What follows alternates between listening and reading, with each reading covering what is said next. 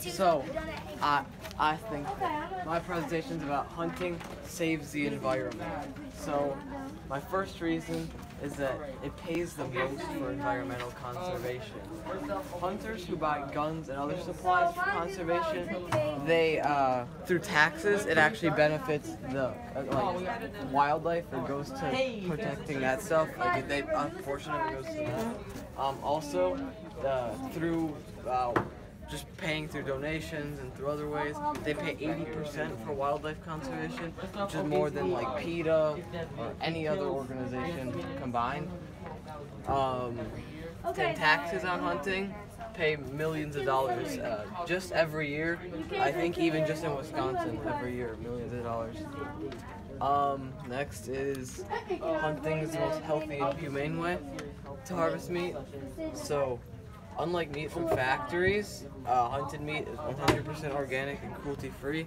It's not raised in a factory. It lives its life in the wild, just naturally. Then it just dies. Uh, hunt, hunting without uh, hunting uh, without hunting, disease and starvation would take over for deer and other hunted animals. So, like that would be even worse than like them quickly dying to let's say a rifle or something. They would slowly die and suffer because they don't have any grass because they'd run out. Because they yeah. Um, and 94% of people uh, that were surveyed agreed that animals raised uh, in factories were raised cruelly, but in the wild, animals live a full and fulfilling life because they are they aren't raised by humans. They live how God intended them to live, I guess. Uh, uh, farmers in Wisconsin lose $30 million to crop damage from deer annually. It, uh, anyway, uh, hunting keeps the wild population on a healthy level.